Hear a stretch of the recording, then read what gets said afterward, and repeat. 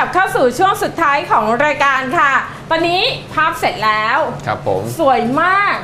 ดูขนตาเด็กได้แรงบันดาลใจ เห็นไหมจากพิธีกรหญิงจากพิเอธีกรอครับนะจากแบบพิธีกรหญิงแบบขนตาแบบเนี้ย เออ เนี่ยเห็นไหมจริงๆบ้านจะถอดขนตาแปะเลย อะภาพนี้เนี่ยได้แรงบันดาลใจกวางน้อยกลอยใจมาจากไหนคะเอ่อจริงๆ จากไหนล่ะจากพิธีกรนี่เลยครับ เพราะว่ารู้รู้ว่าพิธีกรมาก็คืออยากอ่าอยากทำอะไรที่น่ารักน่ารักสีค่ะสดใสมอบให้กับรายการครับโอ้เพราะว่าเพราะว่ารายการก็ colorful ก็เลยค่ะ โอเคเอา colorful ไว้ก่อนค่ะ เออ แล้วเป็นกวางน้อยเป็นกวางน้อยคอยรักตายแล้วที่หลังเอาน่ารักเอาอะ เอาที่หลังเอาอะไรที่ใหญ่กว่ากวางกวางได้ไหมช้างน้อยอะไรพวกเนี้ย ไม่เขาเห็นความอ่อนโยนในจิตใจ ครับ คุณไม่เห็นรูปทองของดิฉัน เพราะเธอเป็นราชินีช้าง เออคือถ้าช้างคุณก็เข้าเลย อ่าคุณไม่เห็นรูปทองของดิฉันไงจริงๆแล้วดิฉันมีรูปทองเป็นกวางน้อย ผู้อ่อนโยนอ่อนแออ่อน แต่ไม่ค่อยได้ถอดเพราะงั้นไม่เคยได้ถอดนะคะอ่าเนี่ยงดงาม ใช่สวยใช่งามอืม น้องเขาเขียนแล้วก็มี เขามีค่ะฝันน่ะเหมือนเขาค่ะมีโลกส่วนตัวของเขาอยู่ค่ะข้างในเนาะ มันมันเป็นเหมือนสัญลักษณ์นะครับค่ะ สัญลักษณ์ที่แบบอย่างเราใช้กวางมามันให้ความรู้สึกถึงความอ่อนโยนค่ะความความร่าเริงเนี่ยครับความร่าเริงค่ะครับผมมันได้ความรู้สึกเหมือนดาวเหมือนจักรวาลเหมือนอะไรพวกเนี้ยนะก็ ความรู้สึก ก็ colorful ใช่ไหมคะ อ่า เราเป็นดวงดาวบนท้องฟ้าดาราเดลี่ค่ะ โอ้โหครับผมใช่ใช่ concept ใช่เลยครับใช่เยี่ยมเลยครับ เห็นไหมบอกให้แผนกตีความเข้าข้างตัวเองเนี่ยเก่งอะนะ อะเราพูดถึงผลงานต่อไปดีกว่าใช่เออครับผม คุณจะต้องมีเป้าหมายในอนาคตไว้ว่ายังไง หรือว่าจะมี project งานต่อๆไปอะอะไรบ้าง ครับผมที่เร็วๆนี้ที่จะมาถึงก็จะเป็นการเตรียมนิทรรศการเดี่ยวครั้งที่2นะครับค่ะช่วงเดือนกันยาครับผมค่ะเดี๋ยววันวันที่เท่าไหร่เดี๋ยวแจ้งอีกทีหนึงค่ะ ครับผมนะคะ แล้วก็ตัวงานก็จะมีการพัฒนาการขยับขึ้นมาจาก จากที่เคยทำแฟนตาซีที่ที่มันดูดูฝันดูจะมีเรื่องเกี่ยวกับความจริงเข้ามาเกี่ยวข้องครับ ค่ะก็คือรูปแบบที่เป็น realistic ผสมค่ะขึ้นเยอะขึ้นค่ะครับผมอืมสีอาจจะน้อยลงครับผมอือฮึแต่จะเพิ่มเขาเรียกว่าเพิ่ม concept เข้าไปเยอะกว่าค่ะ ครับผมอืม แล้วก็ส่วนอ่าอารมณ์หรือ mood mood ก็ก็จะมีการพัพัฒนาไปอีกอีกอีกนิดนึงอีกอีกอืมเรื่องหนึ่งครับ ก็คือมีความเป็นจริง ผมใช่ มากขึ้น ผมเห็นมาแล้ว ค่อนข้างจะ realist มากขึ้นอือฮึด้วยที่ผมไปได้แรงบันดาลใจมาจากคำที่เคยคุยคุณโยไว้เรื่องค่ะเอ่อ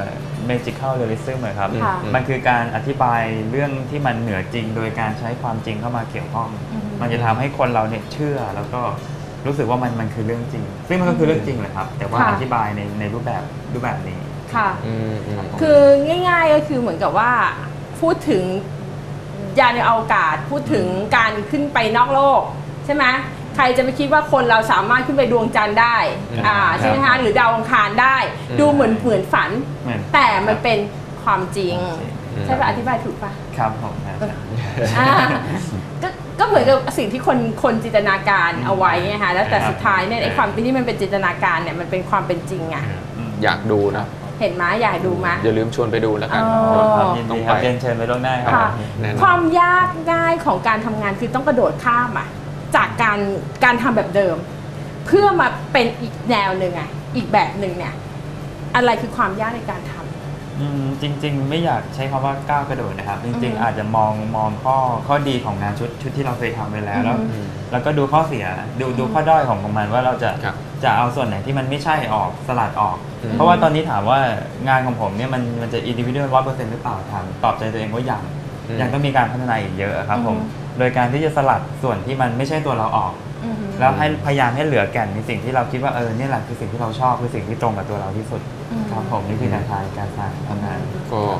เหมือนคนกำลังเดินหาจุดมุ่งหมาย จุดแนวทางตัวเอง อือฮึก็ก็ต้องค้นหาไปเรื่อยๆเนาะอือฮึครับ จิตรกรศิลปิน อือฮึ ไม่มีที่สิ้นสุดครับ อือฮึ ตลอดชีวิตครับ ก็คือจนกว่าที่บอกว่าค่อยๆ ตัดไอ้ในความที่ไม่เป็นตัวเองออก อืมมเพื่อให้คงเหลืออ อะไรที่มันลุงลังมากไปก็ลองครับตัดออกซะหน่อยหนึงอือฮึใช่ครับ เพื่อให้ให้กลับมาเป็นตัวเองให้มากขึ้นมาหน่อย ครับอ่าในฐานะเป็นศิลปินรุ่นใหม่เนี่ย มีมุมมองเกี่ยวกับเอ่อวงการศิลปะเรายังไงเอ่ยตอนนี้อ่าณตอนนี้ผมว่าเป็นอ่าดีขึ้นกว่ากว่าแต่ก่อนเยอะเพราะว่าค่ะมีมีแรงสนับสนุนจากจากทั้งทางภาครัฐและเอกชนเยอะค่ะขึ้นนะครับค่ะแล้วก็จะมีเวทีต่างๆ ให้เด็กเนี่ยได้แสดงศักยภาพค่ะครับผมได้ได้เยอะขึ้นค่ะนะครับผมแต่สิ่งในอีกสิ่งที่สำคัญที่สุดก็คือความตั้งใจของของศิลปินเองนะครับค่ะว่าอืมจะยืนหยัดแล้วก็อดทนแล้วก็ต่อสู้กับมันได้อืมมากน้อยแค่ไหนครับผมค่ะครับ ก็และตอนนี้นะคะถือว่าเป็นอาจารย์ด้วยก็เป็นนะคะสอนพิเศษครับอ่าเป็นก็อาจารย์พิเศษก็ถือถือว่าเป็นอาจารย์พิเศษถูกไหมคะ แล้วเป็นยังไงบ้างในอ่าบทบาทฐานะอาจารย์มองลูกศิษย์นักเรียนศิลปะยังไง ก็จะเป็นการการการเรียนศิลปะนี่มันจะแตกต่างกับกับการสอนวิชาอื่นครับค่ะคือเราต้องสอนถึงค่ะต้องดูแม้กระทั่งว่านิสัยของเด็กอืมวิถีชีวิตเขาด้วยครับอืมเพราะว่ามันมันเกี่ยวข้องกับตัวงานเขาค่ะเขาเป็นนิสัยไงเป็นคนล่าเริงเป็นคนสุขุมเป็นคนคิดเยอะ ครับอืมซึ่งซึ่งมันจะออกมาจากตัวงานเขาซึ่งอ่าการสอนศิลปะมันต้องมองไปถึงวิถีชีวิตของของเด็กอืมด้วยครับค่ะ ซึ่งคนเป็นอาจารย์ที่ดีต้องมีเวลาที่จะคลุกคลีกับเด็กค่ะ ครับผมที่จะสามารถอธิบาย แล้วก็สามารถที่จะพูดคุยกันได้ได้เยอะครับผม ค่ะ อืมอืมอืม สุดท้ายนี้อยากจะให้ฝากนะคะ ครับ ถึงคุณผู้ชมนิดนึงว่าให้บอกความเป็นซาโต้เออเอาไปได้เลยเอออะไรคือชิคายุอะไรคือซาโต้อ๋อพอเป็นซาโต้เหรอครับ เอ้ผมก็ไม่เคยมองเลย เพราะว่าอาจจะเป็นเอ่อเป็นคนที่ชอบความงามครับ ชอบความงาม ชอบสร้างความงาม อยากจะเอาความงามที่อยู่ในอุดมคติของเราเนี่ยอืมจากภายในจิตใจของเราเนี่ยอืมถ่ายทอดให้กับผู้ชมได้ดูครับ ผมให้ให้คนได้เสพงานเราเนี่ยมีความสุข อืม แล้วก็ มีความเพลิดเพลินไปกับผลงานของเราครับผม อ่านี่แหละครับเพราะงานของเขานะบอกความเป็นเขาไงว่ามันมีแต่ความงดงามอ๋อใช่ใช่ นะคะวันนี้ต้องขอขอบคุณนะคะอืมคุณสโต้มากๆเลยนะคะขอบคุณมากครับ ขอบขอบคุณมากไว้ด้วยนะคะครับผมยินดีครับค่ะและต้องขอขอบคุณนะคะ สปอนเซอร์ใจ ดีของเราค่ะบริษัท TQM ค่ะ ขอบคุณคุณผู้ชมอีกครั้งนะคะ อย่าลืมนะคะ พบกับรายการดาราเดลี่อาร์ตโชว์ได้ใหม่ อย่าลืม click like fanpage ด้วยนะคะ แล้ววันนี้นะคะเราทุกคนคงจะต้องลาไปก่อนค่ะ สวัสดีค่ะ ครับ สวัสดีครับ